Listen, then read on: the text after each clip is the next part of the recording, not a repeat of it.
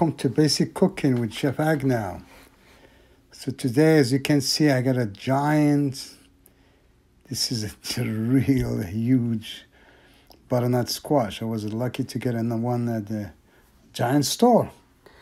So it was the only one they have, I picked it up. So I, I want to do something different. I want to cook couscous today, but instead of serving in a traditional way, traditional style, I want to do something unusual. So I'm going to actually stuff this butternut squash with couscous, half of it, and use the other half, cook it in the grill, and um, with some other vegetables, and do like a nice display, something unusual. So first you got to start with is, of course, you got to cut the uh, squash in half and uh, this is not easy folks. You really got to have a good grip to do this. And a nice sharp knife. Here we go. Now we got in half. Now you got all that meats you got to get it out. I mean the seeds especially the meats you can uh, save because we're going to cook this whole thing on the grill. And we're going to serve the couscous inside as well as some vegetable so right now I'm doing, I'm just taking off some of the um, seeds and cleaning up nice so I can have deep, so it's deep enough to place all kind of stuff. There we go. Now this takes a little bit of time. You can do it ahead, day before. Uh, you don't have to do this at all. You can just do your couscous the way you like it. I just want to do something different and, um, you know, exciting. So this is very exciting. It gets me going. Beautiful day. It's sunny. Uh, getting outside. Uh, this is actually unusual for the month of uh, December. Anyway, so you can see I got some meat from the other half. I reserve them. Now I get a, a pot. I'm gonna make a stew because when you do couscous, you need to make some kind of stew because you need the juice to add to the couscous. Usually, you add the couscousiere on top. You make your stew, and the steam cooks the couscous. But this is an unusual stuff. It's outside. It's different, so you got to come up with a different way to do different things you know, when you are outside and things like that. So I'm making here the lamb stew. I basically bought some lamb with bones. It's called uh, lamb for stew. You can get at a giant store. Um, I get some red onions. Uh, I throw them in there to caramelize a little bit. Uh, then I'm, I'm, slicing some tomatoes. I'm going to save half for the uh, grill and half for the stew as well as the squash, half of it for the stew and half for the grill. And I'm to need some seasoning. I'm not using too much seasoning here. I, I just want uh, turmeric mostly, uh, and then uh, salt and pepper, a little bit of chili powder. So I gotta mix my stuff, and then I'm using stock. So you definitely need some beautiful, nice uh, stock. I'm using chicken stock here. Uh, again, you can buy it at your favorite store. You don't have to make it unless you have time, or you can freeze it if you have if it's in the freezer. So mixing my stew, put the seasonings in there, and I'm gonna add the carrots as well. I bought some baby carrots, colorful, a lot of flavor in there. So I want those color carrots to kind of melt a little bit and create like a, some kind of sauce with the that will flavor the um, couscous. So again, the idea is to make this stew, and the stew is going to be watery, means a lot of liquid. I'm going to take those liquid, that liquid, add it to the couscous, and the couscous here is an instant couscous, something that cooks very easy. But I have a way, a trick I'm going to show you how to make it very good and fluffy. So I added my chicken stock, cover it up, let it cook. And here I moved it to the other way. I added the cabbage. What I, I took the cabbage and I sliced it like that.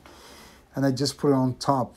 It's steaming, kind of, it's cooking on top, and I'm gonna turn it around.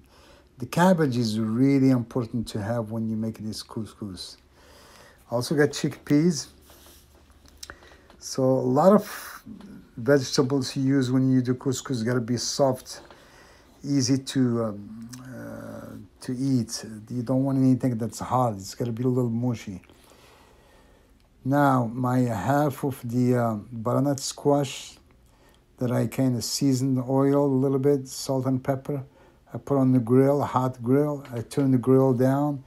I'm just gonna let it cook for a little bit so it gets soft. At the same time, while my stew is going on, I slice some vegetables. I got some peppers here. I got the butternut squash. I find some uh, cheap portobellos. and I as well use them. And I'm going to grill all that stuff and put a beautiful, nice display. Uh, in a few minutes, you're going to see how I'm going to make the couscous. So traditionally, the couscous is used using the couscousiere again with the holes in the bottom and the steam of the stew goes through it and steams it out. And you got to take it out and add some cold water and mix it up and put it back again in the couscousiere. You got to do that three times and season it with salt. But here I'm gonna do it different way because um, technically having a couscousiere, having a lot of stuff, it's not really practical because I'm using the grill.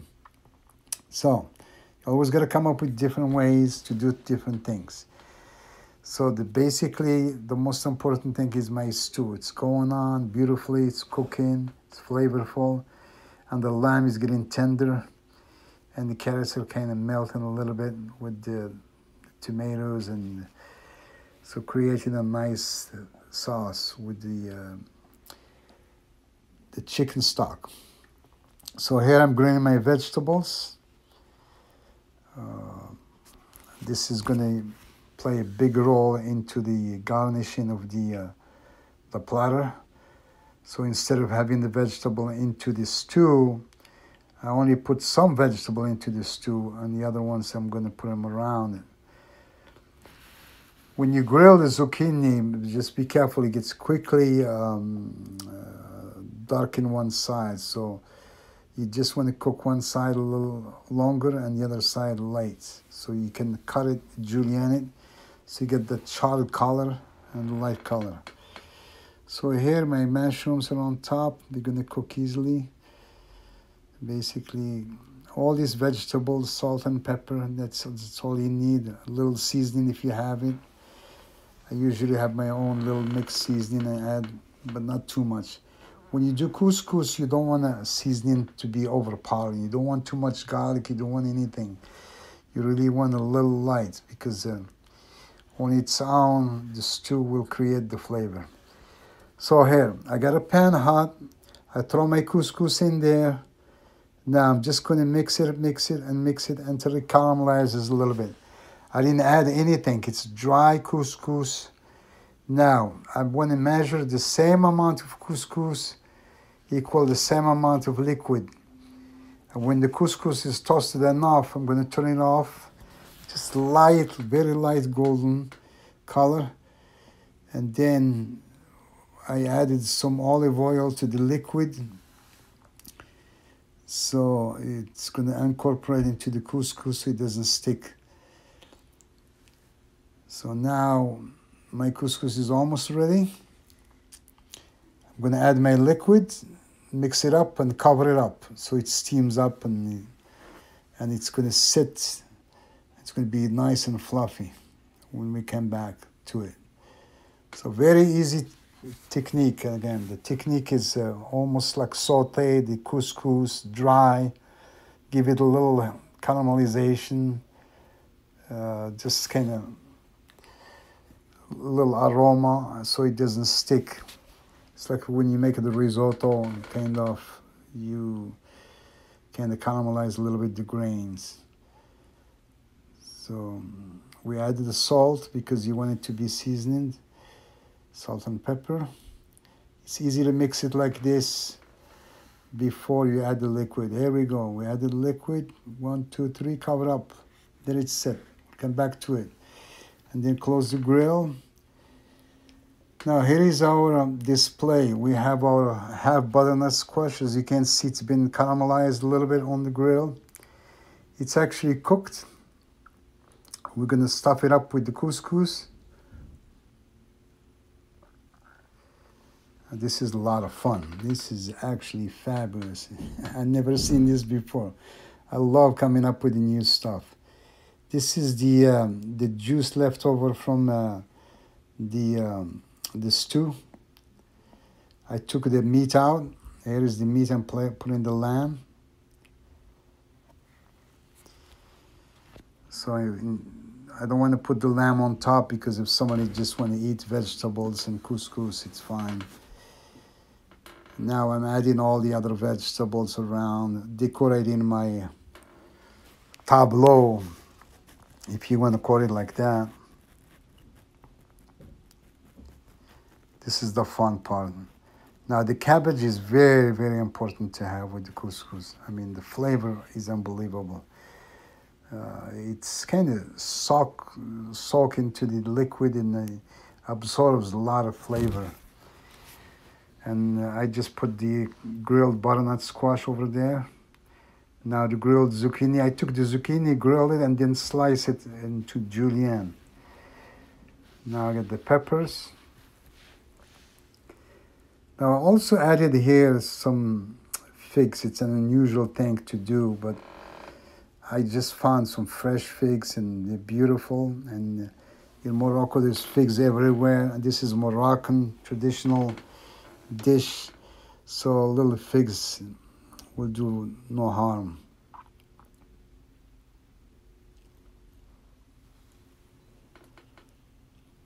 So it's looking really nice, beautiful. Couscous is full of a lot of stuff, a lot of vegetable, a lot of flavors. So that's why, you know, here I'm putting actually, we also use sweet potatoes.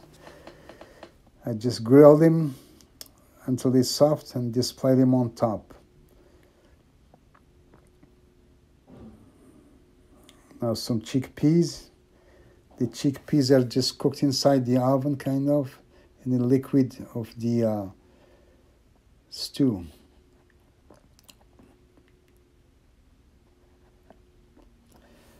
This is like a, you put this in front of anybody, especially Moroccan people, you're going to be like, wow. It's like a deconstructed couscous royal. And you get the figs over there, you get a little herbs, rosemary. I just went to my backyard and picked up whatever I have. I get some cilantro and parsley. And just garnish it. It's like a nice um, display. And uh, voila. Really simple.